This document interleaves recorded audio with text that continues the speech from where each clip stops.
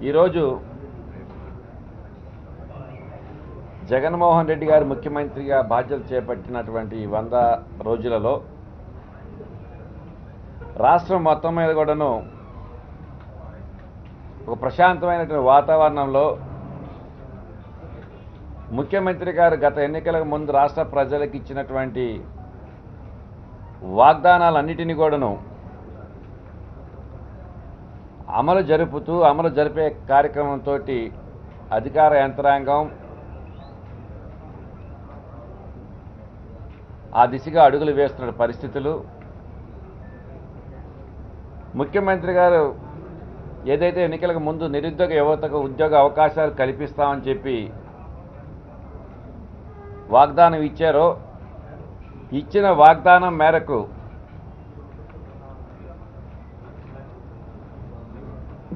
నాలుగు లక్షల మంది నిరుద్యోగ యువతకు ఉద్యోగ అవకాశాలు కల్పించటం. అది చిన్నదవనివ్వండి పెద్దదవనివ్వండి. ఎంతో పారదర్శకంగా మెరిట్ బేసిస్ మీద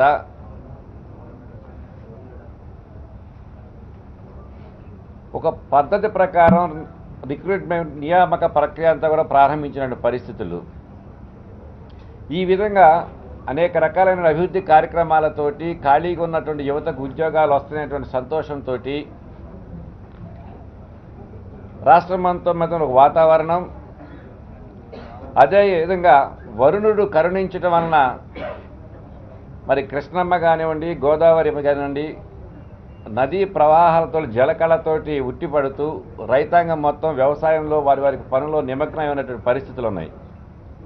ఇలాంటి ప్రశాంతమైనటువంటి వాతావరణం ఉన్నటువంటి ప్రస్తుత పరిస్థితులలో మరి ప్రతిపక్ష నేతగా చంద్రబాబు నాయుడు గారు ప్రస్తుతం జగన్మోహన్ రెడ్డి గారి యొక్క పరిపాలనలో జరుగుతున్నటువంటి పరిణామాలన్నిటిని యొక్క దృష్టిలో పెట్టుకుని ఎక్కడ వారి మనుగడ తెరమరగవుతుందో అనేటువంటి ఒక అభద్రతా భావంతో వారి మనుగడను కాపాడుకోవటానికి వారి యొక్క ఉనికిని చాటుకోవటానికి ఈరోజు రకరకాలైనటువంటి చిల్లర రాజకీయాలకు తెరలేపినటువంటి పరిస్థితులు. నిన్న మొన్నటి రోజున కృష్ణానది గోదావరి నదికి సంబంధించి వరదలు వచ్చినప్పుడు అధికార యంత్రాంగం పూర్తిగా వైఫల్యం చెందింది. ఎక్కడా కూడాను మరి వీటి సహాయ చర్యల్లో కానివ్వండి లేదంటే జరుగుతున్న పరిణామాల మీద సరైనటువంటి పర్యవేక్షణ జరగలేదని చెప్పి వరద రాజకీయానికి తెరలేపినటువంటి పరిస్థితులు. దానికి పూర్తిగా భిన్నంగా అధికార యంత్రాంగం కానివ్వండి ఆయా పరిసర ప్రాంతాల్లో ఉన్నటువంటి ప్రజాప్రతినిధులుగా మంత్రులుగా మేమందరం కూడాను ఎంతో సమైక్యతా భావంతో ఆ బాధిత ప్రజలను ఆదుకోవడానికి సహాయ చర్యలో పాల్గొన్నటువంటి పరిస్థితులు ఎక్కడ చిన్న విమర్శ లేకుండా కార్యక్రమాలన్నింటినీ కూడాను దిగ్విజయంగా పూర్తి చేసినటువంటి పరిస్థితులు ఉన్నాయి. సో ఆ తరుణం అయిపోవటంగానే ఈరోజు వరదల రాజకీయాలు ఎటు ఫెయిల్ అయ్యాం కాబట్టి హత్యా రాజకీయాలు రాష్ట్రంలో శాంతి భద్రతలకు విఘాతం కలుగుతుంది. వైసీపీ నాయకులు కార్యకర్తలు తెలుగుదేశం పార్టీ నాయకులను కార్యకర్తలను టార్గెట్ చేసుకుని వారిని హింసిస్తున్నారు హత్యా రాజకీయాలకు పాల్పడుతున్నారని చెప్పి మరొక హత్యా రాజకీయాల ప్రస్తావన తెర మీద తీసుకొచ్చిన పరిస్థితులు ఉన్నాయి. ఈ సందర్భంగా తెలుగుదేశం అధినేతను కానివ్వండి తెలుగుదేశం నాయకులకు కానివ్వండి మేము తెలియజెప్పేది ఒకటే. మా నాయకుడు జగన్మోహన్ రెడ్డి గారు ముఖ్యమంత్రిగా బాధ్యతలు చేపట్టిన రోజు నుంచి కూడా ఈ రాష్ట్రంలో రెండే ప్రధానమైన అంశాల మీద దృష్టి కేంద్రీకరించాలి. ఎన్నికలకు ముందు రాష్ట్ర ప్రజలకు ఇచ్చినటువంటి వాగ్దానాలను అమలు జరుపుతూ ప్రజా సంక్షేమ కార్యక్రమాలన్నిటిని కూడాను ప్రజలకు చేరవేసే విషయంలో ఎక్కడా కూడాను వర్గ విభేదాలు కానీ వివక్షత తావు లేకుండా అర్హత ఉన్నటువంటి ప్రతి వ్యక్తికి కూడాను ప్రజా సంక్షేమ కార్యక్రమాలు లభించాలి చెందాలనేటువంటి అంశం. అవినీతి రహితమైనటువంటి పరిపాలనకు గత ఐదు సంవత్సరాలు తెలుగుదేశం ప్రభుత్వం అవినీతిమైనటువంటి పరిపాలన సాగించినటువంటి పరిస్థితులకు పూర్తి భిన్నంగా అవినీతి రహితమైనటువంటి పరిపాలన అందించాలి. రాష్ట్రంలో ఎక్కడ శాంతి భద్రతలకు విఘాతం కలగకుండా తప్పు చేసిన వ్యక్తి మన వ్యక్తి మన పార్టీ వ్యక్తి అయినప్పుడు కూడా లేదా అపోజిషన్ వ్యక్తి అయినప్పుడు కూడాను ఎక్కడా ఉపేక్షించకుండా ఎక్కడా వివక్షతకు తావు లేకుండా శాంతి భద్రతను కాపాడాలి. ఆ దిశగా అధికార యంత్రాంగం పర్యవేక్షణ చేయాలని చెప్పి ముఖ్యమంత్రి గారు స్పష్టమైనటువంటి ఆదేశాలు ఇవ్వటం జరిగింది. ఆ ఆదేశానుసారంగానే పరిపాలనాపరంగా ఎక్కడ కూడా చిన్న పొరపాటు కానివ్వండి చిన్న ఈసమెత్తు లా అండ్ ఆర్డర్కి విఘాతం కలిగించే విధంగా కానివ్వండి కక్ష సాధింపు చర్యలకు తెలుగుదేశం పార్టీ వారి మీద ఎక్కడ కూడా వైసీపీ నాయకులు కానివ్వండి కార్యకర్తలు కానివ్వండి కక్ష సాధింపు చర్యలకు పాల్పడకుండా పరిపాలన జరుగుతున్న పరిస్థితులు ఈరోజు రాష్ట్రంలో ఉన్నాయి. ముఖ్యమంత్రి గారి ఏజెంట్ అది మొదటి నుంచి కూడా. కానీ దాని భిన్నంగా అసందర్భమైనటువంటి ప్రేలాపనలతోటి సంబంధం లేనటువంటి స్టేట్మెంట్స్ తోటి ఈరోజు చంద్రబాబు నాయుడు గారు తెలుగుదేశం పార్టీ వారు ప్రయాణం చేస్తున్న పరిస్థితులు ఉన్నాయి. పూర్తిగా అవినీతిమయమైనటువంటి పరిపాలన అందించినటువంటి ఘన చరిత్ర ఎవరికైనా ఉందంటే చంద్రబాబు నాయుడు గారికి గడిచిన ఐదు సంవత్సరాల్లో తెలుగుదేశం పరిపాలనకు సంబంధించి. పూర్తిగా హత్యా రాజకీయాలకు తెరలేపినటువంటి పరిస్థితి తెలుగుదేశం ప్రభుత్వానికి చరిత్రలో మొదటి నుంచి ఉన్న పరిస్థితులు. గడచిన చరిత్ర పరిపాలన మొత్తం చూసుకున్నప్పుడు కూడాను ఎప్పుడైతే గతంలో కూడా తెలుగుదేశం ప్రభుత్వం అధికారంలో ఈ రాష్ట్రంలో ఉందో ఆ సందర్భాల్లోనే ఆ సమయాల్లోనే ఎక్కువగా హత్యా రాజకీయాలు రాజకీయ హత్యలు కక్ష సాధింపు చర్యలు అంతేకాకుండా వారి పార్టీ వారి తెలుగుదేశానికి మద్దతుదారులు కాదు వీళ్ళు అని చెప్పేసి గుర్తించినటువంటి కొంతమంది వ్యక్తులను గ్రామాల నుంచి బహిష్కరించినటువంటి పరిస్థితులు కూడా ఈరోజు రాష్ట్రంలో ఉన్నాయి. దానికి చిన్న ఉదాహరణ.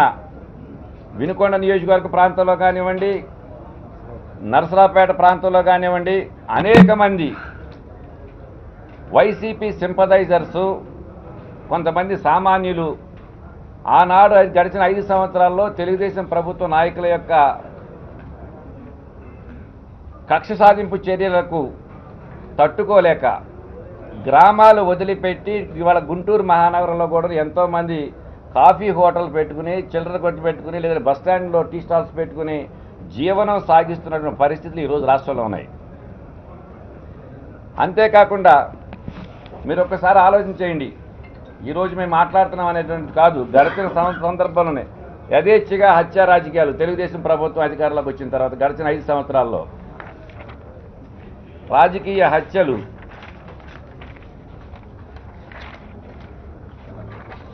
ఇంకో ఉపయోగపడుతుంది మాట్లాడేటప్పుడు. వైఎస్ఆర్సీపీ కార్యకర్త హత్య.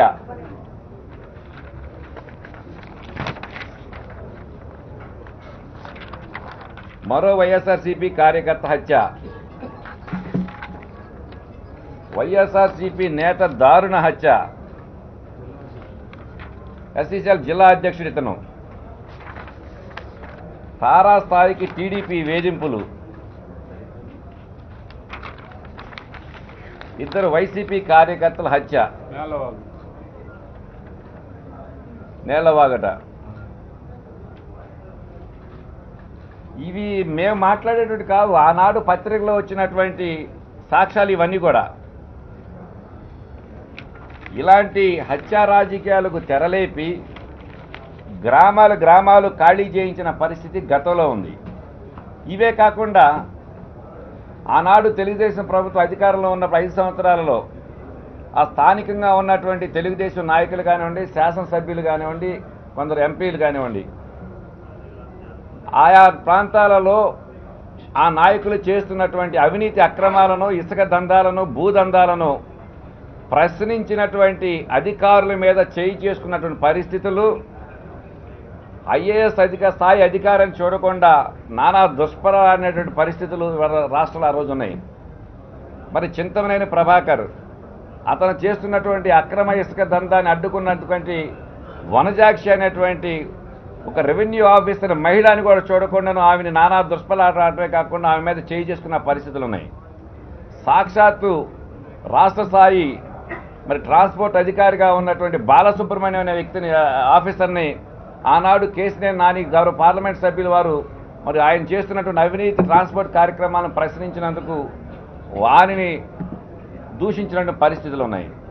ఈ విధంగా చెప్పుకుంటూ పోతే కోకొల్లలుగా గడచిన ఐదు సంవత్సరాలలో తెలుగుదేశం ప్రభుత్వ కాలంలో రాజకీయ కక్ష రాజింపులు హత్య రాజకీయాలు అవినీతమైనటువంటి పరిపాలన ఆనాడు జరిగితే ఆనాడు జరిగినటువంటి ఈ అవినీతి అక్రమాల్లో కొంతమంది ఎవరెవరైతే ఉన్నారో మన జిల్లాకు సంబంధించి మైనింగ్ డాన్గా పేరుగాంచినటువంటి ఎరపతినేని శ్రీనివాస్ గారు ఆయన చేసిన అక్రమ మైనింగ్ని కోర్టు ప్రశ్నిస్తే అది ప్రభుత్వానికి బాధ్యత. కోడెల శివప్రసాద్ గారు మరి గౌరవ శాసనసభ సేపు సభాపతిగా ఉండి ఆయన ఆయన కుటుంబ సభ్యులు చేసినటువంటి అవినీతి భాగోతాలను అది మేము మాట్లాడేది కాదు ఆనాడు తెలుగుదేశం పార్టీ సింపదైజర్గా ఉన్నటువంటి ఆయన ఆ పార్టీ కార్యకర్తలు ఆ పార్టీ నాయకులే గడచిన ఐదు సంవత్సరాల్లో శివప్రసాద్ గారి యొక్క బాధితులుగా మేమందరం ఉన్నాము. ఆయన యొక్క చర్యల వలన ఆయన యొక్క కుటుంబ కొడుకు కానివ్వండి కూతురు కానివ్వండి వారు చేసినటువంటి అవినీతి అక్రమాలకు మేము బలిపసులు అయిపోయామే మేము బాధితులు అయిపోయామని చెప్పి స్పష్టంగా బహిరంగంగా వారు ముందుకు వచ్చి పోలీస్ స్టేషన్కి వచ్చి కేసులు ఇచ్చిన పరిస్థితులు ఉన్నాయి. ఈ విధంగా ఆనాడు అనగదొక్కబడినటువంటి బాధితులుగా ఉన్న వ్యక్తులు స్వచ్ఛందంగా వచ్చి కోర్టును ఆశ్రయిస్తూ మరి పోలీస్ స్టేషన్లు ఆశ్రయిస్తున్నప్పుడు ప్రభుత్వ పరంగా వాళ్ళు విచారణ చేస్తారు వాళ్ళు చేతనైపోతే వాళ్ళు మరి చర్యలు తీసుకుంటారు. ఇలాంటి వారి యొక్క అవినీతి అక్రమాలన్నీ ఎక్కడ బయటకు వస్తాయనే ఉద్దేశంతో ఆనాడు హత్యా రాజకీయాలకు అవినీతి కార్యక్రమాలకు పాల్పడినటువంటి వారి యొక్క నాయకులను ప్రొడక్ట్ చేసుకోవటానికి ఈరోజు పునరావాస కేంద్రాలని లేదని కూడా సహాయ శిబిరాలని ఇదో కొత్త రాజకీయ డ్రామాకు తెరలేపినటువంటి పరిస్థితి తెలుగుదేశం ప్రభుత్వానికి నాయకులది చంద్రబాబు నాయుడు గారిది. ఎలాంటి సందర్భానైనా కూడాను తనదైన శైలిలో మరి మంచిని చెడుగా చెడును మంచిగా మలుచుకునేటువంటి నైపుణ్యం ఉన్నటువంటి రాజకీయ జిత్తులు మారి చంద్రబాబు నాయుడు గారు. మేము ఒకటే తెలియజేస్తున్నాం. ఎక్కడైనప్పటికి కూడాను ఈ జగన్మోహన్ రెడ్డి గారి యొక్క ముఖ్యమంత్రిగా బాధ్యత చేపట్టిన తర్వాత మాకు సంబంధించినటువంటి పరిపాలనలో ఎక్కడా ఒక చిన్న అవినీతి సందర్భ సందర్భానికి కానివ్వండి ఎక్కడ ఒక దుర్మార్గమైన పరిపాలన సంబంధించిన కార్యక్రమాలు కానివ్వండి ఎక్కడ హత్య రాజకీయాలు కానీ తావు లేకుండా మేము ప్రస్తుతం పరిపాలన చేస్తుంటే దాన్ని ఏదో వక్ర భాషలో చెప్పాలని చెప్పి చిల రాజకీయాలు చేయటం అనేటువంటిది చంద్రబాబు నాయుడు గారికి సరైన పద్ధతి కాదు. ఇదే విధంగా మీరు కూడాను అదే స్థాయిలో పాత పద్ధతుల్లోని పాత సిద్ధాంతాలతోటి మరి మీరు కలిసి ప్రయాణం చేయాలనుకుంటే మాత్రం ఈ రాష్ట్ర పరిపాలనా యంత్రాంగం ప్రభుత్వం చూస్తూ ఊరు కూర్చోదని చెప్పి మేము స్పష్టంగా హెచ్చరిక చేస్తున్నాం.